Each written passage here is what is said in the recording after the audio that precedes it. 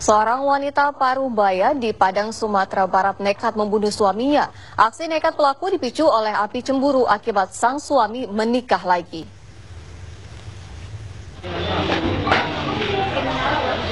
Rosmaini, wanita berusia 50 tahun warga kampung Gasan Padang Pariaman ini kini harus mempertanggungjawabkan perbuatannya.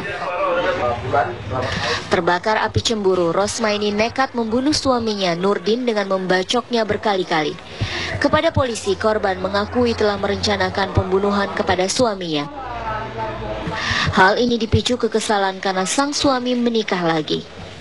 Pernikahan ketiga suaminya yang berprofesi sebagai supir angkot ini juga membuat sang suami mengurangi nafkah kepada dirinya. Dan korban suaminya itu uh, mempunyai istri yang ketiga juga.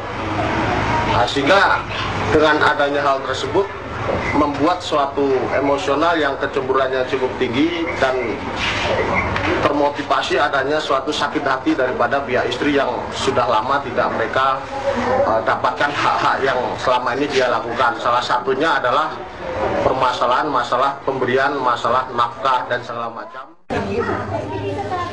Polisi masih menjalani pemeriksaan terhadap Rosma ini termasuk soal kejiwaan tersangka.